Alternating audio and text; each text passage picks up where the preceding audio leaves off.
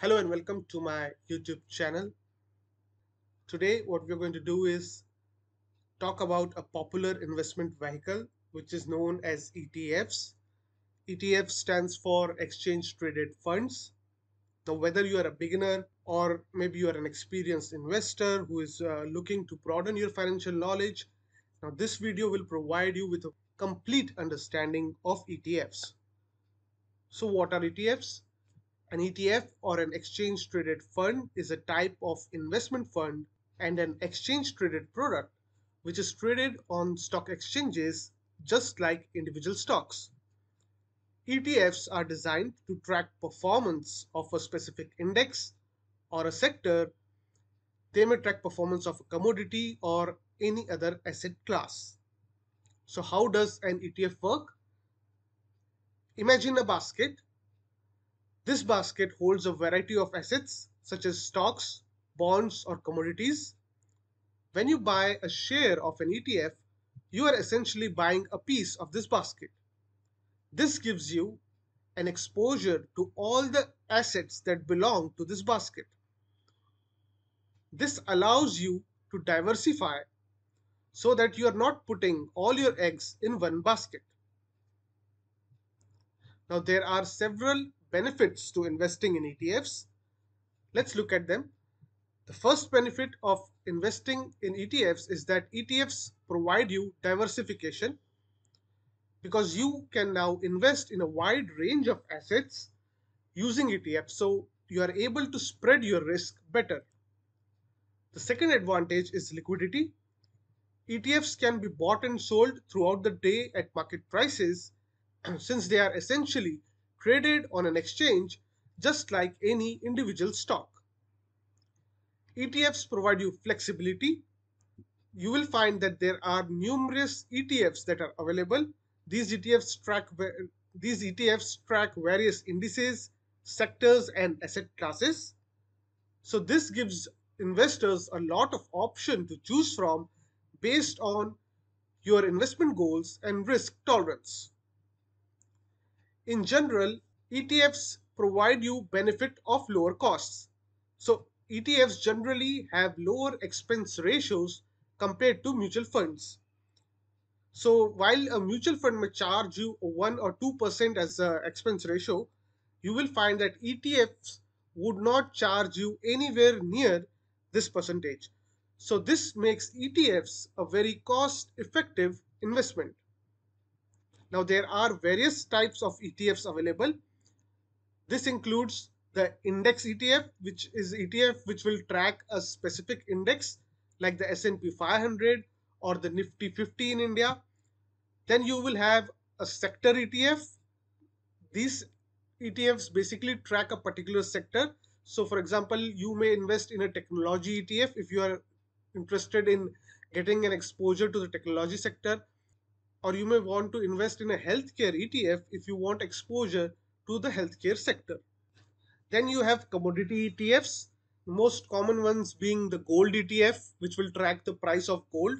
So instead of owning physical gold, you can buy these ETFs to gain the exposure to gold. Then you have bond ETFs. These invest in bonds and other debt securities.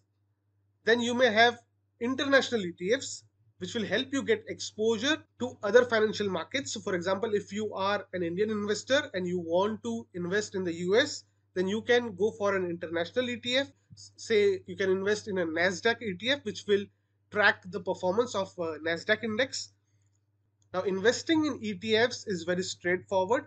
If you basically have a brokerage account, then you can just buy and sell ETFs like any other individual stock. You will though need to research and choose the ETF that aligns with your investment goal and risk tolerance. It's important to remember though that while ETFs offer numerous advantages, but they also come with their own set of risks. So it is very crucial for you to do your own due diligence and understand where you want to invest your money. So it is very important that you understand the asset class in which you are looking to invest and how well the ETF is tracking the performance of that asset class.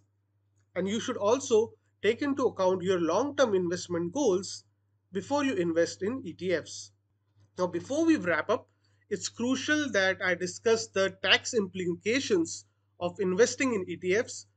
I'm covering the tax implications with respect to India because I am based out of India and most of my viewers also come from India. For tax implications in your country, please use Google to find out what are the specific tax implications of investing in ETFs in your country. For the purpose of this video, I'm limiting my discussion to tax implications of investing in ETFs in India. Now, it is very important to understand that taxes impact your overall returns. So when you are planning to invest through ETFs, you should be aware of the tax policies that affect investing in ETFs. The first tax that is applied in case of ETFs is the capital gains tax. So if you sell your ETF units at a profit within a year, you are subject to the short-term capital gains tax. Now currently this tax is around 15% in India. So if you buy an ETF and sell the units within a year, you will be subject to a short-term a short-term capital gains tax of 15%. However, if you choose to hold on your ETF units for more than a year, and then if you sell it and book some profits, then this will come under the long-term capital gains. So long-term gains up to 1 lakh in a financial year is exempt from tax and beyond that the long-term capital gain tax on equity ETFs is taxed at 10%. Apart from capital gains tax, you also have the dividend tax in India. Now with respect to dividends, your dividends are added to your income, your overall income, and then it's taxed at the income tax slab rate. So for example, if your highest income tax slab rate at which you're paying tax is 30%, then your dividend taxation will also happen at the same rate of 30%. Then you have the securities transaction tax. Now, in case of mutual funds, you do not need to pay the securities transaction tax. But because ETFs are traded on exchange just like stocks, so trading ETFs on exchange is subject to a securities transaction tax, which is also known as the STT. The STT is currently 0.001% of the transaction value and this tax is levied on both the buyer and seller of the ETF. With this we come to the end of this video on ETF. If you would like to figure out which ETF you should invest in then I would recommend you to subscribe to my channel and observe my coverage on different sectors where I discuss which sectors are good for investment and if you do your own due diligence and uh, feel that you should invest in those sectors, then you can use ETFs to gain exposure to those sectors. Thank you for watching this video.